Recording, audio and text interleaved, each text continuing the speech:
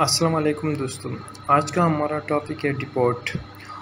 Deport کس طرح کرتے ہیں ایران سے؟ اور اس ویڈیو میں جو پکچر ڈپورٹ والے دکھائے گئے، یہ سب ریئل پکچر ہے ڈپورٹ دو طرح کی ہوتی ہے، ایک ہوتا ہے کہ آپ کو پولیس پکڑ لے یا سیکورٹی والے پکڑ لے، اور دوسرا یہ ہوتا ہے کہ آپ اپنے آپ کو پولیس کے حوالے کر دیتے ہو۔ بعض لوگ جو کئی گیمیں لگا کر پار نہیں ہو سکتے سرحد پر، تو وہ تہران آ کر اپنے آپ کو پولیس کے حوالے کرتے ہیں۔ بارڈر سے تہران کی طرف بھیجا گیا، جب تہران پہنچ کر آزادی پارک پر ہمیں اتارا گیا۔ ہم چار لڑکے تھے، وہاں سے ہم نے ٹیکسی کر کے ڈپورٹ سینٹر پہنچ گئے، جو تقریباً تہران سے ایک گھنٹے کے فاصلے پر تھا۔ اچھا ایک چیز اپنے ساتھ نوٹ کریں، جب آپ کو تہران سے بارڈر کی طرف لے کر جاتے تو آپ کا جو مین سٹاپ ہوتا ہے وہ آزادی پارک ہوتا ہے۔ اور جب آپ کو بارڈر سے اپنے کنٹری بھیجتے تو بھی، تب بھی آپ کا مین سٹاپ جو ہوتا ہے وہ آزادی پارک ہوتا ہے۔ آزادی پارک تہران میں آزادی پارک جو ہے، یہ ایلیگل مائگریشن جو ہوتے ہے اس کے لیے مشہور جگہ ہے۔ تہران میں جو ڈپورٹ سینٹر ہوتے ہیں، وہ افغانیوں کے لیے الگ ہوتے ہیں اور پاکستانیوں کے لیے الگ ہوتے ہیں۔ جی ہم پاکستان کے ڈپورٹ سینٹر میں پہنچ گئے۔ جیسے ہی ہم گیٹ میں انٹر ہو گئے، ہمیں وہاں پر لائن میں کھڑا کر دیا سب کو۔ پہلے ہمارے اور ہمارے سامان کی صحیح تلاشی لی گئی۔ تلاشی کے بعد وہاں جو آفس تھے ڈپورٹ سینٹر والے، اس کی صفائی ہم سے کروائی گئی ہے۔ صفائی کے بعد ہمیں بیچے گیا اور باہر سین میں بٹھایا گیا۔ ہم اپنے گروپ کے صرف چار لڑکے تھے۔ اور جس ٹائم ہم ڈپورٹ سینٹر پہنچ رہے تھے، اس ٹائم ہمارے ساتھ تقریباً سات، ستر لڑکے اور بھی پہنچ گئے۔ اور اس سے پہلے بھی تقریباً چھ، سات سو لڑکے ڈپورٹ سینٹر میں پہلے سے موجود تھے جو اندر تھے۔ اور ہمیں باہر رکھا گیا سہن میں۔ آدھا گھنٹہ بعد ایک لڑکا آ گیا، وہ ہمیں اندر لے کر گیا۔ وہاں ہمیں برمدے میں بیٹھا کر ہمارے موبائل کی انٹری ہو گئی۔ موبائل کی انٹری اس طرح ہوتی کہ موبائل کے اوپر نمبر لکھتے اور موبائل آپ سے رکھ دیتے۔ ہمارے بھی نام سب کچھ لکھ کے پھر ہمیں مین والی جگہ جو ہوتی ہے جہاں پہ چھ سات سو لڑکے پہلے سے موجود تھے وہاں پر بھیجا گیا۔ یہ جو جگہ تھی بہت صاف ستھری جگہ تھی اور وہاں پہ بہت زیادہ شور تھا۔ کیونکہ چھ سات سو لڑکے جب اکٹھے ہو جاتے ہیں تو بہت زیادہ شور بن جاتا ہے۔ بہت بڑا حال ہوتا ہے۔ واش روم کا کافی اچھا سسٹم ہوتا ہے اس میں۔ پینے کا صاف پانی بھی ملتا ہے وہاں پہ۔ یہ جو حال ہوتا ہے گرمیوں میں ٹھنڈ ہوتا ہے اور سردیوں میں گرم ہوتا ہے۔ وہاں پہ کافی اچھا ایئر کولر کا کافی اچھا سسٹم لگا ہوتا ہے۔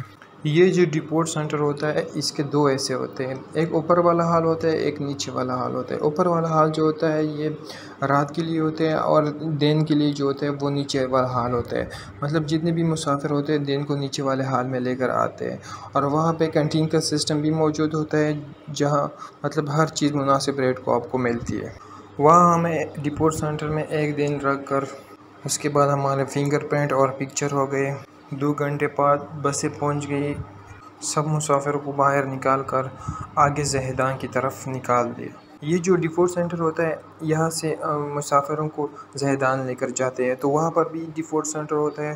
وہاں بھی ایک رات کے لیے رکھ لیتے ہیں مسافروں کو۔ تو وہاں سے پھر آگے پاکستانی بارڈر تفتان کو روانہ کر دیتے ہیں۔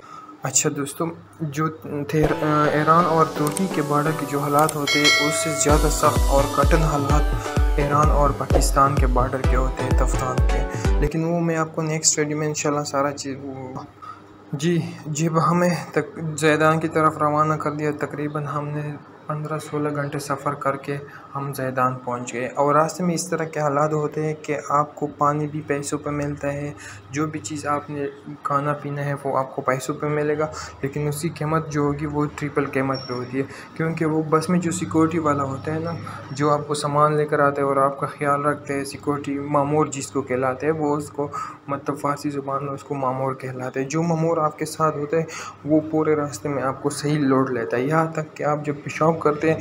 تو پیشاب کے لیے بھی آپ کو گاڑی نہیں روکے گی جب تک آپ نے اس کو پیسے نہیں دیے ہو ڈپورٹ کا سسٹم اس طرح ہی ہوتا ہے کہ آپ کو سارے راستے میں لوٹا جاتا ہے۔ بلکہ صرف ڈپورٹ کا نہیں، ٹینکی کا سارا یہ سسٹم ہوتا ہے۔ جب آپ کوئٹہ سے نکلتے ہو ترکی بارڈر تک آپ کو لوٹا جا رہا ہے۔ جب آپ ترکی بارڈر سے واپس آتے ہو، تب بھی آپ کو کوئٹہ تک جب آپ نہیں پہنچو تب تک آپ کو لوٹا جا رہا ہے۔ اچھا جی دوستو، ایک چیز اور نوٹ کریں اپنے ساتھ۔ جو لوگ ایران سے ڈپورٹ ہو جاتے ہیں اور اس کی فنگر پرنٹ اور فکچر وہاں پہ تہران سینٹر میں ہو جاتی یا کسی بھی ڈپورٹ سینٹر میں ہو جاتے ہیں تو وہ جو لوگ ہوتے ہیں وہ تقریباً چار مہینے تک دوبارہ ویزے پر بھی نہیں جا سکتے ایران۔ اس پہ پابندی ہوتی، جب چار مہینے گزر جائے تو اس کے بعد ویزے پر وہ جا سکتے ہیں۔ آج کی آج کی ویڈیو یہاں تک کافی انشاءاللہ نیکسٹ ویڈیو میں جو تفتان بارڈر کے حالات ہیں، وہاں زیدان سے آگے کا جو سفر ہے، وہ سارا آپ کو بیان کریں گے۔ انشاءاللہ پھر ملیں گے۔ اللہ حافظ۔